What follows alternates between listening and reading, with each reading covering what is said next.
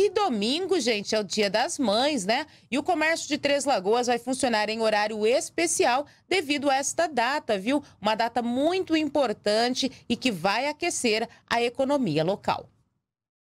O Dia das Mães é a segunda melhor data comemorativa para o comércio, que só perde em vendas para o Natal.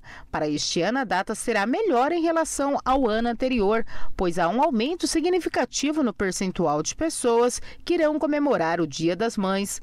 Os gastos médios com presentes e comemorações estão maiores e os três lagoenses estão otimistas para a data. Segundo pesquisa da FEComércio em parceria com o Sebrae, o Dia das Mães deverá movimentar 20 21 milhões de reais na economia de Três Lagoas. O gasto médio entre presentes e comemorações será de 453 reais. Segundo o presidente do Sindicato do Comércio Varejista, Suede Silva Torres, a movimentação no comércio já é mais intensa nesta semana. Espero que de hoje para frente o comércio esteja bem movimentado, quinta, sexta, o, o horário vai ser normal até as 17, 17h30 e no sábado nós vamos também ao invés das 14 horas, nós vamos estender o horário até as 17 horas da tarde.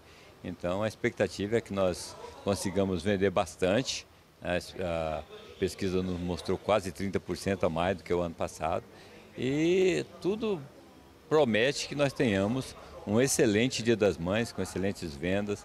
O comércio está bonito, muita gente passeando nas ruas, olhando vitrines. Né? E nós realmente esperamos que esse 2023 né? segunda melhor data do ano, Dia das Mães, né? E que nós vendamos bastante.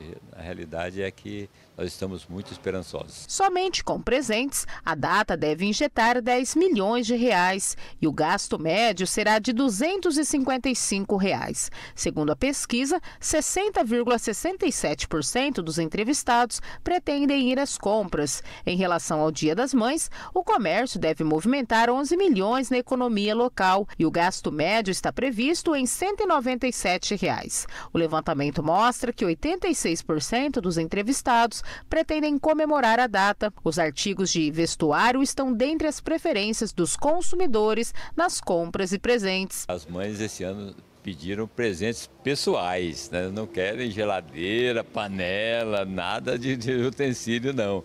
Então, aí vai a questão de, de calçado, joia, relógio, celular, né? É, bijuterias, enfim, tudo que for de uso pessoal é o que as mães estão desejando esse ano, roupas, né, confecções, então, é, flores, né, e, e depois, vamos dizer, um café da manhã, alguma coisa assim. E as comemorações também serão muitas, né, é, praticamente 40% das pessoas vão, vão, comemorar o Dia das Mães na casa das suas mães ou nas suas casas, mas será realmente um, um Dia das Mães bem, bem movimentado e com com bastante incentivo, porque esse ano é um ano que nós estamos trabalhando tranquilamente, sem restrição alguma. Ainda de acordo com a pesquisa, 64,81% dos consumidores pretendem comprar nos estabelecimentos comerciais do centro, 6,17% nas lojas em bairros e 22,22% no shopping center.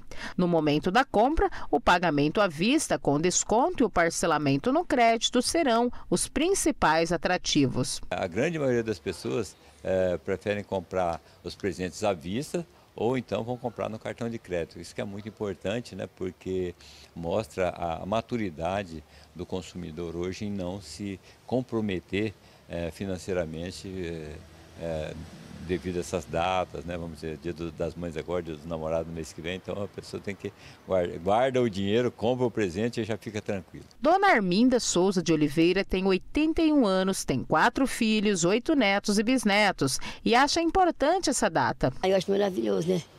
Contudo, eu não tenho minha mãe, mas as outras também têm mãe, né? É bom, eu vou na missa, eu rezo para as mães, rezo o terço. É bom, né? E a dona Armínia gosta tanto de ser mãe que até adotou um filho. E eu gosto. Eu gosto tanto que eu adotei.